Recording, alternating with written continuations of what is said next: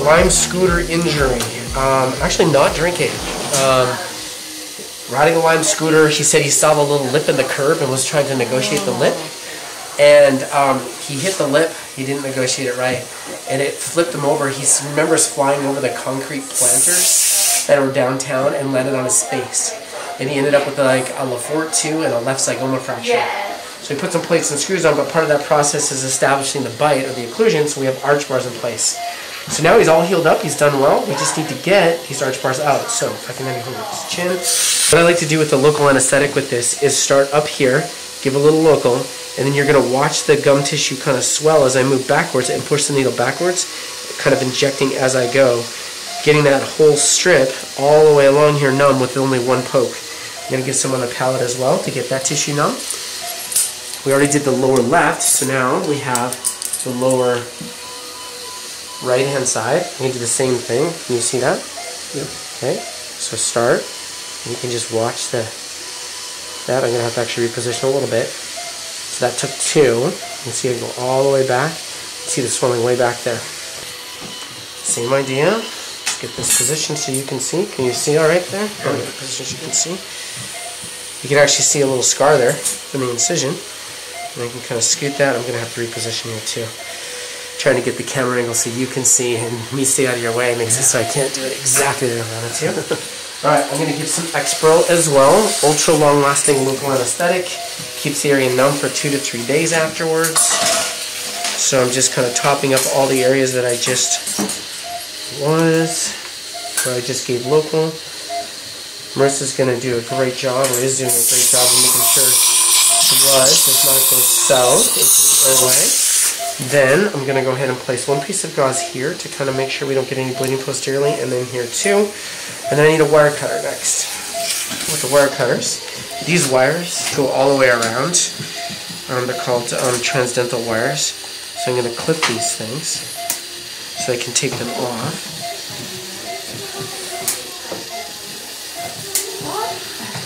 So I'll clip the top and the bottom just for the sake of efficiency. I actually like taking arch bars off. It's kind of fun. Alright, so now get a, a wire twister. By going around the teeth, that's what keeps these arch bars in place. So now I should be able to grab onto this. There's actually a couple wires there, so you can just see that slips out. Take this one out. Now there's actually two here, and I didn't clip one of them. Let's see which one I clipped, which one I did not. There's the one I clipped. So let's clip this one now. Clipped.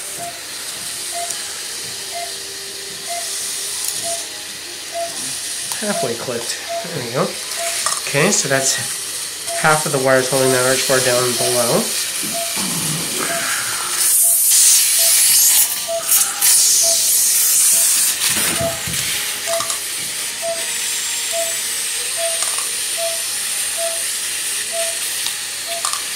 And there's that. Now, just to simplify, I don't have to do this, but I'm going to clip the arch bar just to get half out of the way. At the end, um, I always get a Panorex, a radiograph, to make sure that there's no hardware left in there. Alright? Don't make any friends that way.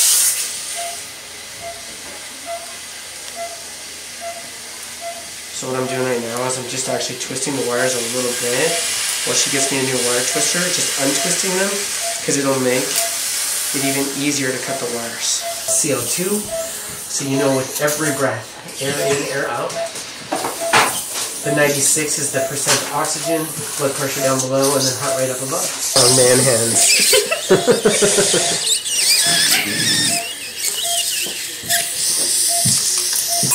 okay. There's that.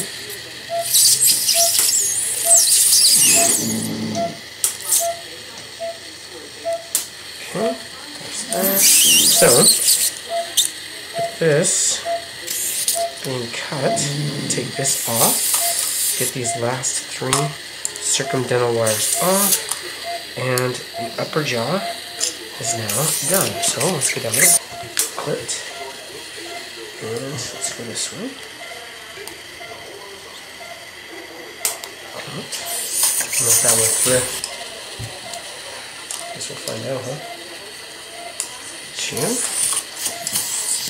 You see it actually tear a piece of my glove? Oh yeah. It's a little piece of my glove. I have two sets of gloves on. Mm. That would be the reason why, because these wires are just tough on gloves. And get this out first. Wrap this in my gauze a little bit. Last wire, the grand finale.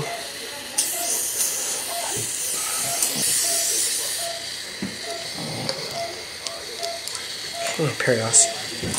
Actually, I'm able to grab it. I grabbed it back there.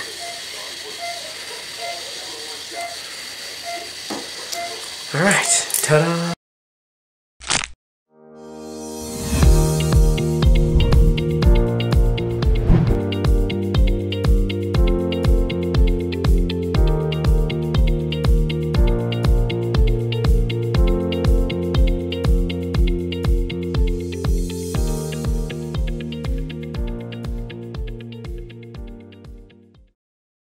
Percent overall drop in opioid use And with the proper understanding and use of Exparel, you too can see the success that Exparel will bring to your clinic. Dr. McLelland, DDS, has been using it in his clinic for a few years now, and he's seen great success in his patients and their pain management every day. In this six video series, you get a professional masterclass that will give you the jumpstart you need to include Exparel in your daily routine. It includes a bonus PDF with a patient information handout post-op medical instructions, and a quick look sheet for the materials and supplies for explaining Exparel. Go to teachable.com today and get educated on a non-opioid anesthetic that will help your patients have a better day.